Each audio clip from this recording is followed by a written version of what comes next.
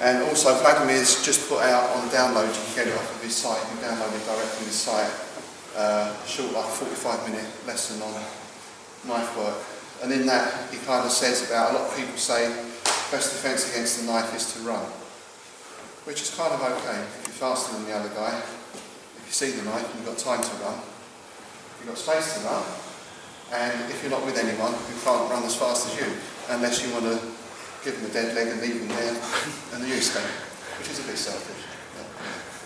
So the question is then about spotting the knife and maybe reacting to stop the draw or to create distance before the knife is drawn. Now, the problem is when you do any of this kind of awareness work, it's going to be the knife, it's going to be the gun or whatever it is, we all know that's the drill. So we're all kind of, we're kind of primed up and we're looking for it. Obviously you've got to carry this over into other stuff. And it's, it's all part of general awareness anyway.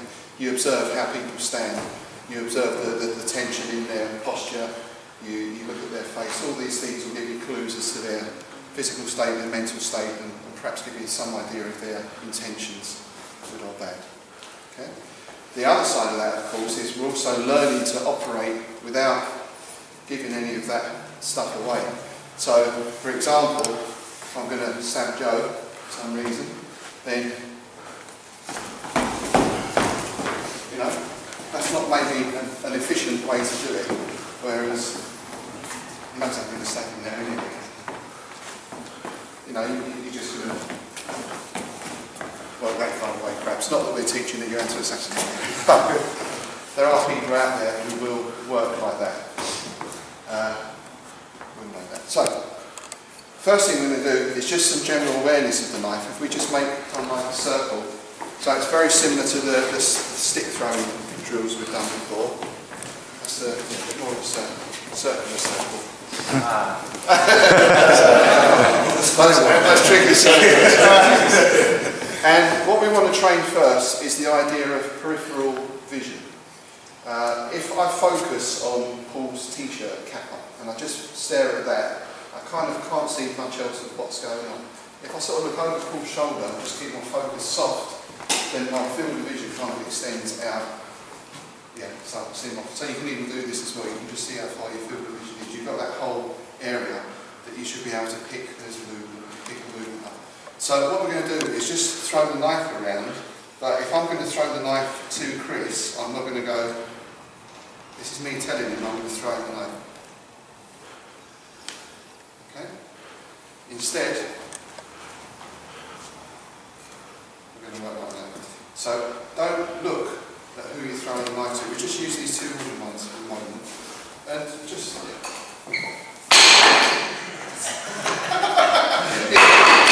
and you throw, throw it to the person, not at them.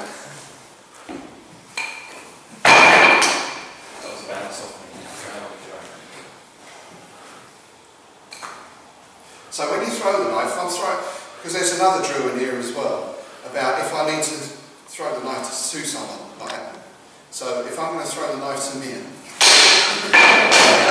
that's not very helpful, you know? If I'm going to throw the knife to Paul, so I'll throw, you throw it in such a way the other person can catch it.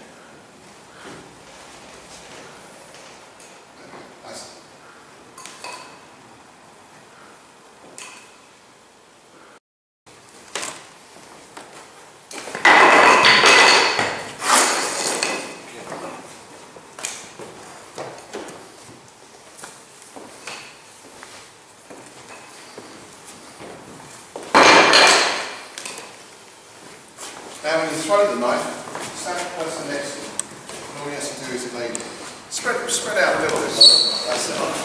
So now you're tracking the knives, but you're also tracking the use of the knife as well, you know what I mean? And also, I still want to keep track of the two knives. So I don't want to be too focused on this one. When John's dealing with this, he still knows where that other one is.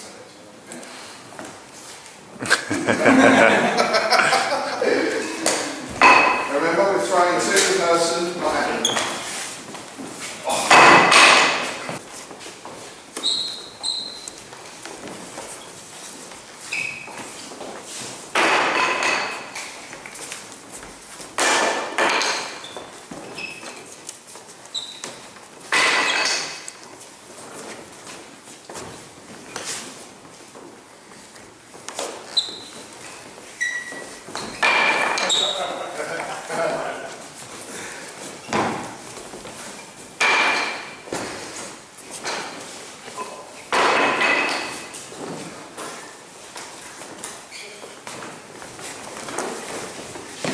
to do is not defend against these four guys or anything else, but turn, they start, you turn, they take a couple of steps in, you look, then I want you to make an instant decision.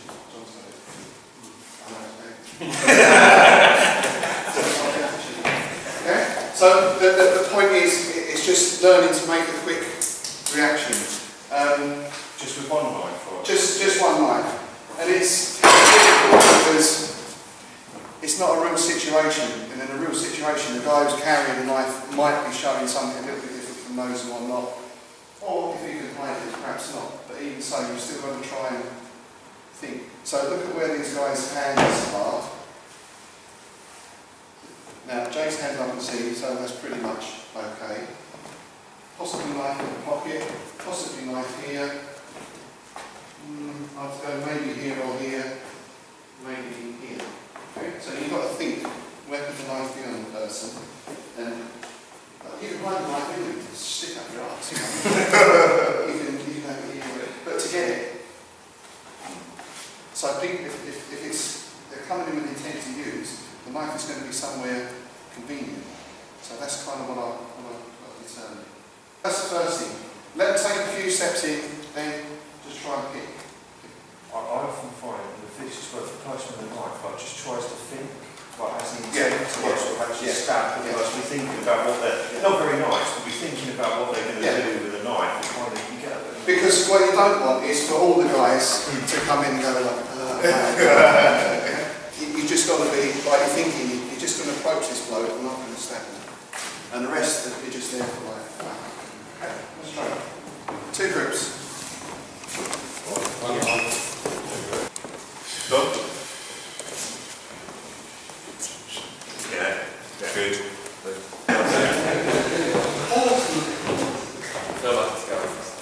Yeah.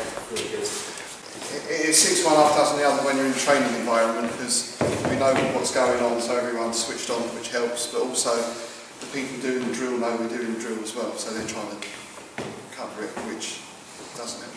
So you just need to be aware if you're in any of that sort of situation. As I say, people's posture, where the hands are, and their intention. And sometimes look for the intention to be masked as well. The guy who's trying not to be very obvious could very often be the one who is the danger. So you- you're looking for that as well. You can play the game Spot the Bodyguard when you see politicians or other very important people on television. You see the obvious bodyguard. You'll also see another bloke, not so obvious bodyguard. So practice that kind of thing as well. Don't always look for the obvious. Having said that, in your normal situation where there's adrenaline or emotion running, then things become a lot more obvious anyway. We'll just very quickly, we've got this, this drill is on the, the Knife Defence Workshop DVD as well, but we'll just quickly go through this just for a couple of minutes. So again, one person turns his back, I put the knife somewhere, I say go, he turns around and just, just grabs the knife. Go. Kills me.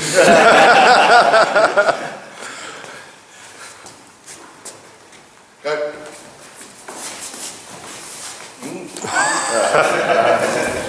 so again, what, what we're looking for is a quick reaction. We're trying to sum up the situation very quickly, and it's just down to experience. Go.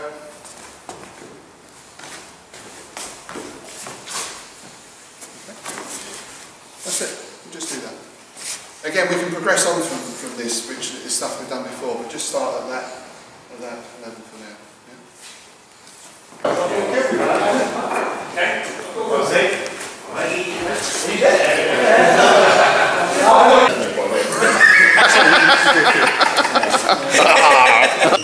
So we just walk around, there's the guys with the knives, conceal the knife, at some point attack,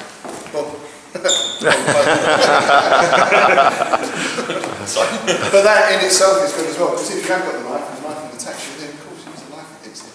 Anything you can use against the knife is good. Um, once you've attacked a person, then pass the knife to someone else. But I want you to keep it a little bit like, don't be like, stab, there you go, stab, there you go, stab, there you go. You know, just conceal it for a little bit longer perhaps. And try and position yourself in such a way from both